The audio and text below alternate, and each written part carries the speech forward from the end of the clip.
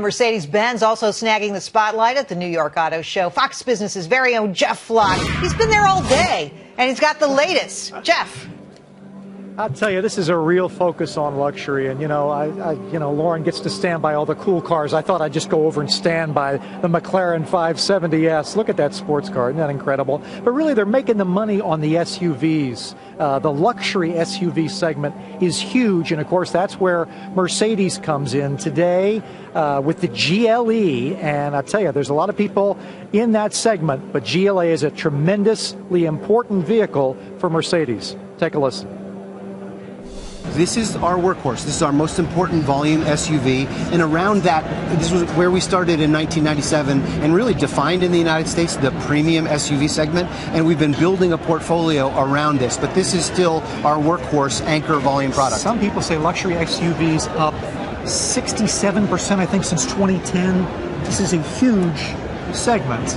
Uh, and everybody's gunning for you.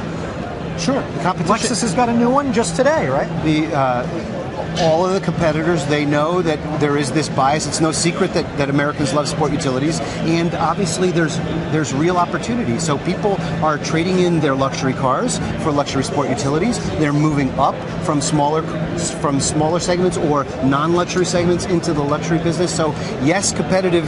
Uh, it's as competitive as anywhere in the world, right here in the United States. And you know, you think the economy, fuel prices, regardless of what they do going forward, but you feel good about this economy we feel very strong about the economy is, is great here in the United States. Globally, it looks strong. We think we, for the next several years, knock on wood, we, are going to have more wind at our back than wind at our face. Now, obviously, something can, can blow up somewhere around the world. You never know.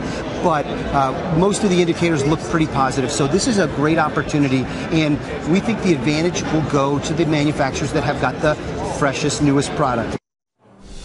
And of course, that's what this show is all about the newest, freshest models. I'm uh, over in Rolls Royce. I don't know, Gerri. Uh, you know, these things attract me, although I don't know that I've ever made enough money for uh, one of these Wraith inspired by film uh, special edition Wraith Rolls Royce. Nice, huh? Mr. Flock, you deserve that car. Let me tell you, that should be expensed. Get Jason Racky to expense that car for you, my friend. Have a great I'll tell afternoon. him you mentioned his name there. Good to see you, Chair. Good to see you.